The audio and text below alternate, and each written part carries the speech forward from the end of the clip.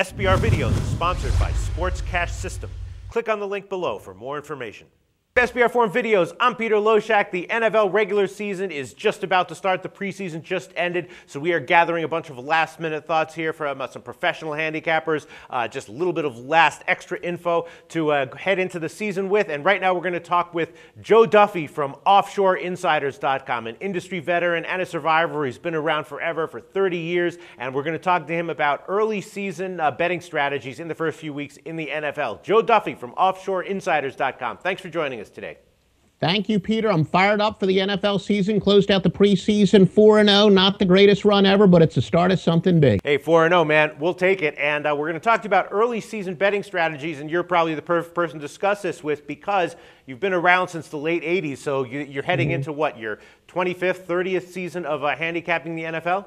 Well, I think it's my 26 year as a professional public handicapper, but I've been betting and handicapping long before that, and it really started as a hobby as a kid, but that's another story for another time. Absolutely. All right. Well, he's a survivor. I call him the OC, Original Capper. And uh, what can you tell us in general about uh, how you're thinking, some things you look for uh, over the years in the uh, first few weeks of the NFL season? Well, there are quite a few things. We may have talked about this on one of the videos we did earlier between my own internal stuff that I do and talking to you. I can't remember what I said where, but it bears repeating, even if we did talk about it on one of our earlier videos. I love fading quarterbacks that didn't have any track record heading into last season that are coming off of great years because they've got the burden of high expectations. It doesn't always have to be a rookie quarterback. It doesn't even necessarily have to be a first year quarterback, but a couple of the guys I'm talking about this year certainly are. Robert Griffin III, now obviously with the whole injury situation, there's a lot more factors to consider there.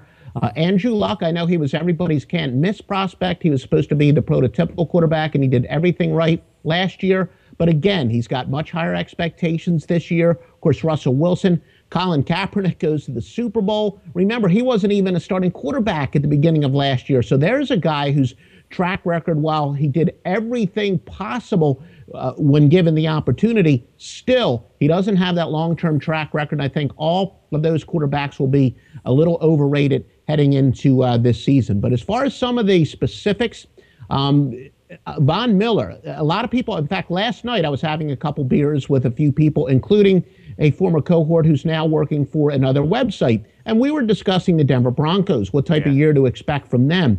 We know that Peyton Manning, in my humble opinion, probably the best regular season quarterback in the history of the game. But on defense, there are going to be some question marks. Von Miller, he's been suspended for the first six games. They had that really bizarre offseason thing where Elvis Dumervil, because of they didn't submit his contract in time, that he became a free agent. And an interesting statistic the last two years, when both of those guys were on the field, Miller and Dumervil, they um, sacked 8% of their opponent's dropbacks, but when they were both off of the field, only 3.4%. And with both of those guys on the field, and I've always said the single most important statistics in handicapping are yards per rush, yards per pass, and most importantly, yards per play. Well, they allowed 4.5 yards per play with both of those players on the field 5.1 with both of them off of the field. Now, one of them is gone, the other one's going to be suspended for six games. So, one of those early trends, the Denver Broncos, they certainly got a great quarterback. Their defense is questionable. They're going to have some high totals, but despite those high totals, they're probably going to be a big over team at the beginning of the year. Overs from Denver. Well, that segues perfectly into uh, the thing that I'm looking for. Let me get your, your feedback on this. Mm-hmm. Now, um, I remember, uh, you know, last year and I think for a few years now, uh, early in the season, there's been a lot of overs. It's been a huge overtrender, mm-hmm. uh, the NFL has been. And uh, I think a lot of that has to do with, you know, the crackdowns on big hits on defense. And, you know, this year we're seeing the same thing. A lot of talk about concussions and all that. And so I'm thinking that maybe, you know, the uh, def- defenders will be a little bit skittish and the uh, offense will be taking a lot more chances. I'm thinking we might see another big overtrend in the NFL in the first few weeks this year. What do you think about that reasoning?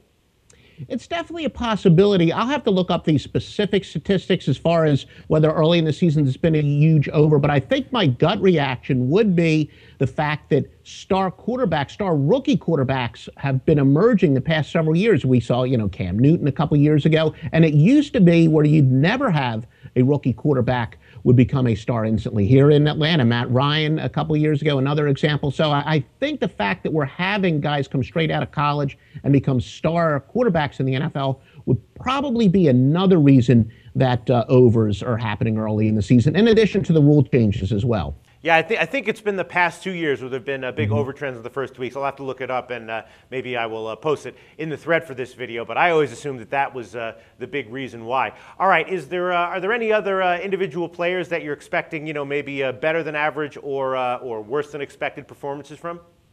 Sure, Adrian Peterson is another guy, and he is really Minnesota's entire offense. Uh, Christian Ponder, a little shaky. I don't think Ponder's ever going to make that next step. Now, Peterson was, without question, established as one of the top running backs in the game, and he's really the poster child of how you can teach a running back to stop fumbling. Remember, he was a great running back from day one, but he fumbled the ball too much and now has great hands, is able to hold on to the ball. But he overcame that ACL surgery or, or whichever cruciate ligament surgery it was last year and had that miracle year. Now he's got to follow it up, though and he's got, you know, he's took a pounding last year. Plus, most importantly, one of those uh, big news things that can sneak under the radar from a handicapping standpoint, his fullback, Jerome Felton's going to miss the first three games because of substance abuse. Mm.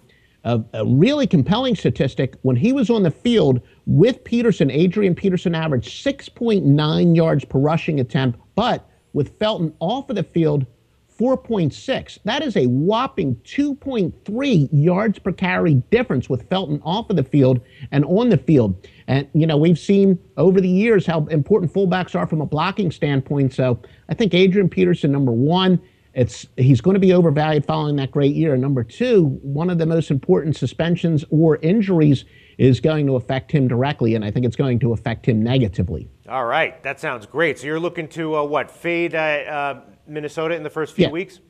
Yes, exactly. Minnesota, and the interesting thing is they might have to force, they might have to pass the ball a lot more, which right. even though their offense won't be as good, they may have more overs because I've said a million times that handicapping totals isn't about offensive and defensive competence as much as it is pace. And Minnesota might have to throw the ball a lot more and pick up the pace. So their offense could be worse, but yet they could be higher scoring. For sure. All right, Joe Duffy from OffshoreInsiders.com. Thanks so much for all these great insights. And we are going to be doing uh, regular weekly previews of NFL games all season long with you. Thanks so much, Joe.